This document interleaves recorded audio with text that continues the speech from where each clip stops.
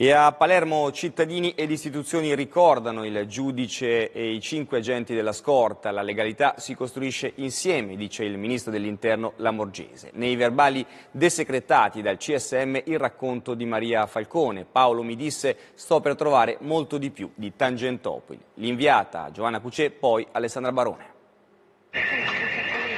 La forza meritando i ragazzi che sono rimasti qui, i ragazzi, il giudice Borsellino, perché loro mi hanno tirato fuori dall'auto che stava prendendo fuoco.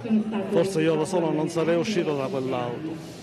Antonino Gullo si rivolge ai suoi cinque colleghi della scorta ridotti a brandelli in via D'Amelio assieme al giudice Borsellino come se fossero ancora vivi. Sa cos'è l'inferno perché lo ha visto con i suoi occhi qui 28 anni fa. Stava spostando l'auto di scorta del giudice quando la bomba esplose.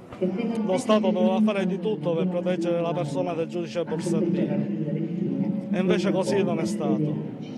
Non bisogna perdere la fiducia nelle istituzioni, gli dice il ministro per il Sud Provenzano, presente alle commemorazioni in questa strada, oggi svuotata dall'emergenza Covid e dove ogni anno si scatena il dibattito tra chi sostiene che sia meglio abbandonare il rito della memoria e chi no.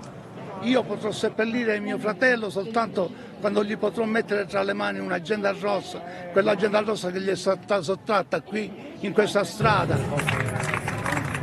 Arriva uno dei figli del giudice Borsellino, Manfredi. Con lui ci sono i nipoti a raccogliere l'eredità di uno zio che non hanno nemmeno conosciuto. Ci siamo abituate talmente tanto a sentire queste, queste storie familiari che quasi ci sembra di averlo conosciuto. Quattro processi e due certezze stabilite da sentenze. Quello di Via D'Amelio fu uno dei più grandi depistaggi giudiziari della storia d'Italia e Cosa Nostra non fu l'unica responsabile. 28 anni dopo non si sa ancora chi volle accelerare e perché l'uccisione di Borsellino.